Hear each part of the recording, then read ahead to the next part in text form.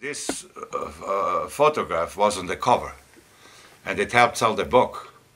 And then it was so obscene that the guy had to put the other one on top in order to be able to sell it. But this is the way it came.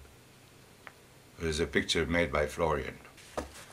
But anyway, so I sent him some of these pictures. They are in another books too, of course.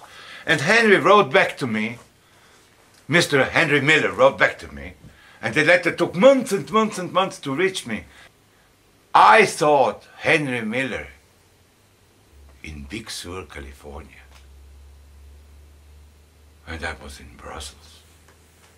With the money I made, I bought a second class ticket on the Conte Biancamano, which was the old ship I always saw passing on the horizon in Nice, in Cros de Cagnes, in Cannes, in Antibes, always crossing it.